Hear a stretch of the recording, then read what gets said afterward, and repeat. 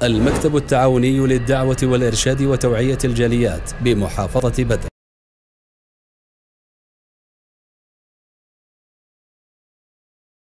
আসসালামু আলাইকুম রহমতুল্লাহি অবরাকাত সুপ্রিয় দর্শক ও শ্রোতা বন্ধুগণ এই দুনিয়ার জীবনে আমাদের অভিযোগ মনে প্রশান্তি হচ্ছে না টেনশনে ভুগতেছি বরকতিনতায় ভুগতেছি সংকীর্ণতায় ভুগতেছি যেন মাথার উপর পাহাড় চেপে আছে তো এই অবস্থাতে মুক্তি হওয়ার জন্য সুন্দর আমল রয়েছে।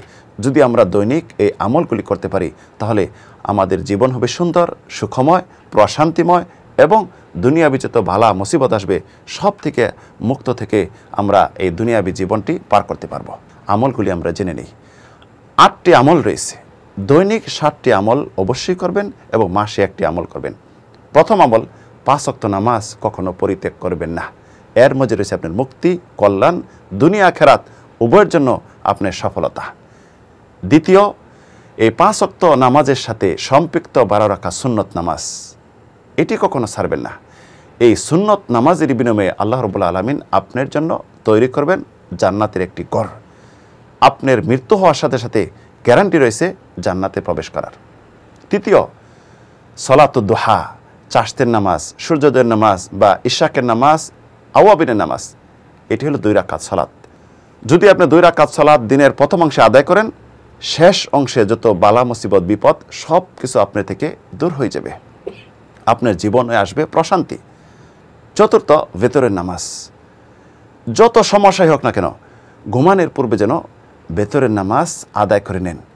যদিও সম্ভব না হয় এক রাকাত এক রাকাত ভেতরের নামাজ পড়ে যদি আপনি শয়ন করেন, ঘুমিয়ে যান, অজু অবস্থায়, যখন ঘুমের মাঝে আপনি এদিক সেদিক পাশ ফিরাবেন, ফেরেশতারা আপনার সাথে অবস্থান করবে এবং ফেরেশতারা দোয়া করবে আল্লাহ ফিরুল্লাহু ফা ইন্নাহু বাতা মোতাওয়াদ্দান হে আল্লাহ, তাকে ক্ষমা করে দাও, সে অজু অবস্থায় শয়ন করেছে। ফেরেশতারা আপনার জন্য দোয়া করতেই থাকবে সকাল পর্যন্ত। পঞ্চম আমল হলো তিনটি সিয়াম সাধনা, প্রত্যেক মাসে এটি ছাড়বেন না। যদি তিনটি সিয়াম সাধনা করতে পারেন, আপনি যেন সারা বছর নফল সিয়াম সাধনা করলেন এই সব আপনার জন্য অর্জন হবে। ষষ্ঠ, ঘুমের দোয়া। যখন ঘুমাইতে যাবেন, ঘুমের দোয়া অবশ্যই পড়বেন। যদিও সম্ভব না হয়, এই দোয়াটি যেন অবশ্যই পড়েন।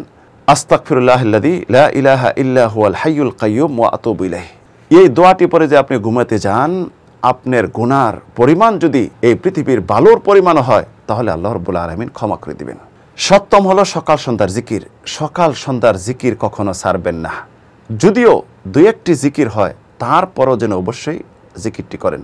যেমন আয়তুল কুরসি সোরাই খেলাস সোরা না সোরা ফালাক।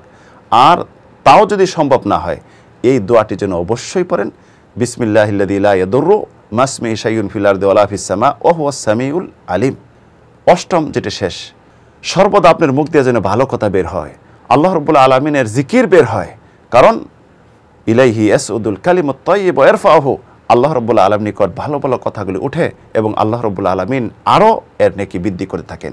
তাহলে আসুন আটটি আমল করে আমরা সুন্দর জীবনের গ্যারান্টি নিয়ে আসি এবং সুখময় জীবন যাপন করে এই দুনিয়াবি জীবনকে পার করি। আল্লাহ রবুল্লা আলমিন তৌফিক দিন, আমিন। আল্লাহ আমিন।